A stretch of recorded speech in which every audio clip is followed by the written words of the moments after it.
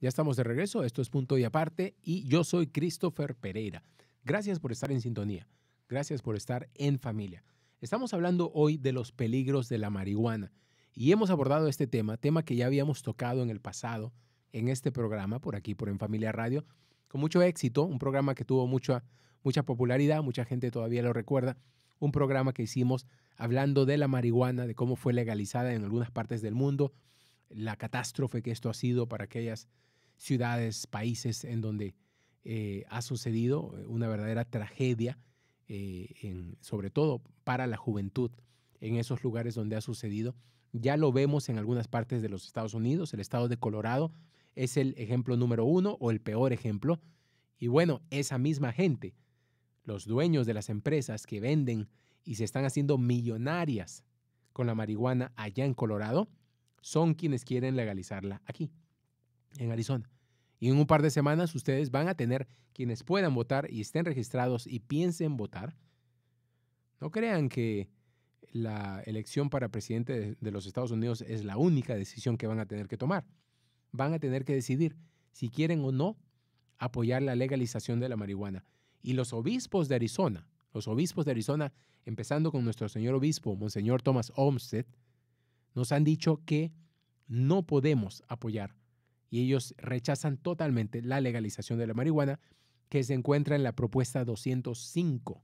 Propuesta 205 que tenemos que marcar como no y rechazarla para que la marihuana no sea legalizada en este país. Vamos a ver cuáles son los efectos dañinos de la marihuana. Los efectos inmediatos al fumar la marihuana incluyen taquicardias, desorientación, falta de coordinación física, a menudo seguidos por depresión o somnolencia. No, no se puede dormir, uno tiene dificultad para poderse quedar dormido. Algunos consumidores sufren ataques de pánico o ansiedad. Pero el problema no acaba aquí. De acuerdo a estudios científicos, el ingrediente activo del cannabis, es el THC, como les había mencionado, permanece en el cuerpo durante semanas o incluso más tiempo. El humo de la marihuana contiene el 50 del 50 al 70% más sustancias que causan cáncer que el humo del tabaco. Un estudio de investigación importante informó que un porro de cannabis puede causar el mismo daño a los pulmones que cinco cigarrillos fumados uno detrás de otro. Los fumadores de marihuana de toda la vida a menudo sufren de bronquitis, una inflamación del tracto respiratorio. Tal vez usted conoce alguno, tal vez caramba, yo tenía un, tío, lamentablemente, que un tiempo de su vida eh, cayó eh, profundamente en una adicción a la marihuana y, y salió de eso para la gloria de Dios. Pero él tenía problemas respiratorios. Esto es una realidad. Estudios en Australia han asociado el uso frecuente y prolongado de marihuana con anormalidades en el cerebro. Esto afecta particularmente a los jóvenes, a los niños y jóvenes cuyo cerebro está en formación todavía, se está desarrollando. Varios estudios han mostrado la conexión entre el uso continuo de la marihuana y la psicosis. La marihuana cambia la estructura de las células del esperma, deformándolas. Vamos a ver qué significa esto. Además, pequeñas cantidades de marihuana pueden causar esterilidad temporal en el hombre. El uso de la marihuana puede alterar el ciclo de la menstruación en la mujer. Además, los estudios demuestran que las funciones mentales de personas que han fumado gran cantidad de marihuana tiende a disminuir. Es, decir, la marihuana nos vuelve más tontos. Para que le quede claro, eso es lo que significa. La marihuana nos hace tontos a quienes la consumen. El THC, el ingrediente de la marihuana, afecta a las células nerviosas del cerebro, lo que a su vez afecta a la memoria. Por eso es que me parece absurdo, absurdo, que quienes proponen la legalización de la marihuana eh, han dicho, porque en esta propuesta de ley dice que los impuestos de la, legalización de, la, legalización de la marihuana van a ir para las escuelas, dicen que la marihuana va a ayudar a la educación. Pero ¿cómo va a ayudar la marihuana a la educación cuando la marihuana afecta el cerebro de los jóvenes, de los niños, afecta la memoria, afecta el entendimiento, la capacidad de prestar atención. El cannabis es una de las pocas drogas que causan la división anormal de la célula. Habíamos dicho anteriormente que la marihuana cambia la estructura de las células del esperma. Bueno, el cannabis es una de las pocas drogas que causan una división anormal en la célula, lo cual conduce a graves defectos hereditarios. O sea que quien consuma marihuana no solo está afectándose a sí mismo, sino es que si es mujer y queda embarazada o si es hombre y deja a una mujer embarazada, bueno, también está afectando a ese bebé.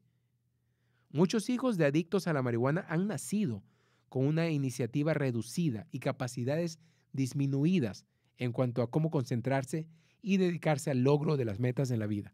Es decir, todo lo que requiera, perdón, todo lo que requiera el uso de eh, nuestras facultades intelectuales, eh, el cerebro, el estudio, la memoria, la concentración, todo eso es afectado por la marihuana.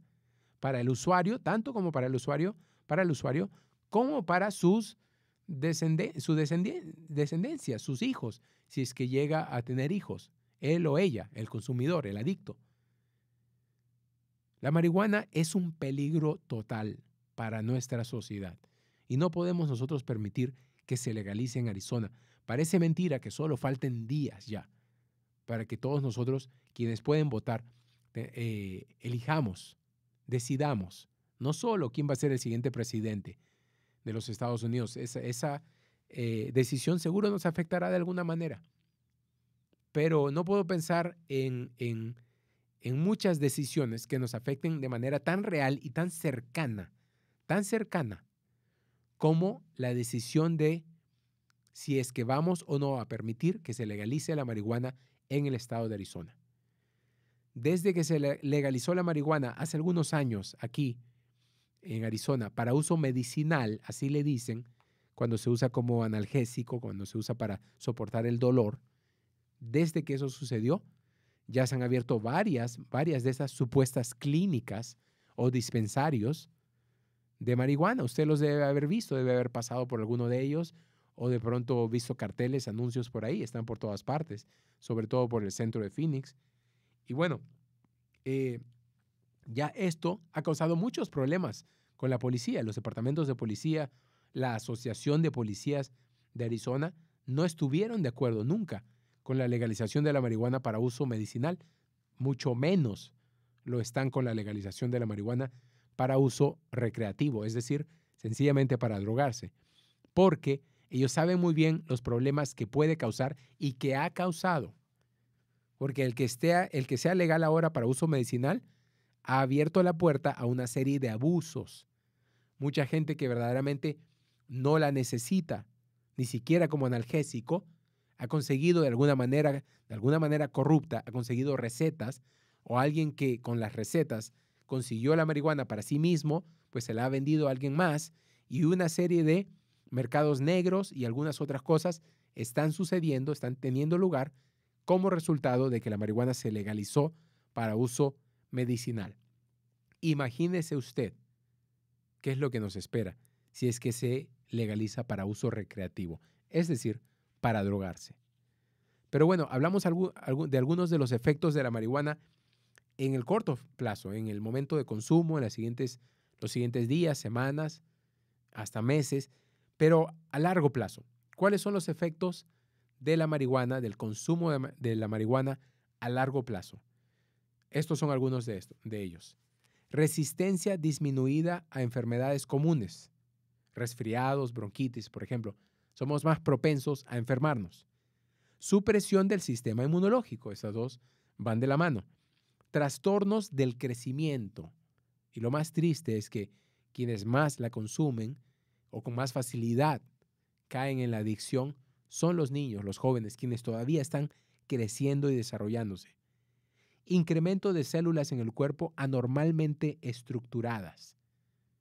Hablamos de eso también, para quienes se están desarrollando y para las personas que eh, puedan eh, concebir reducción de las hormonas sexuales masculinas, destrucción rápida de las fibras pulmonares y lesiones, heridas, al cerebro, que podrían ser permanentes. ¿eh?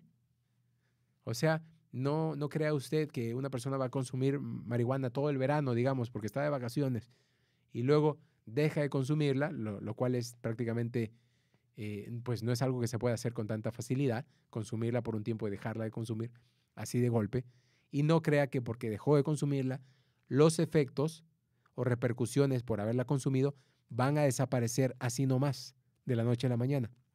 No, muchos de esos problemas o, de los eh, efectos se quedan con nosotros o con el consumidor. Otro efecto a largo plazo, capacidad sexual reducida. Capacidad sexual va a estar reducida. Dificultades en el estudio. Ahí estábamos hablando, el absurdo de decir que la legalización de la marihuana va a traer beneficios a la educación pública en el estado de Arizona. Es un absurdo total. total. Cuando se consuma más, marihuana, porque ya va a ser legal, se, se reduce la habilidad para aprender y retener información. No ayuda de ninguna manera a la educación. Apatía, adormecimiento, falta de motivación, cambios de personalidad y humor, inhabilidad para comprender cosas claramente. Fíjese, aquí tengo el testimonio de un, un joven, a ver si me da tiempo antes de ir a la pausa, tenemos creo menos del minuto.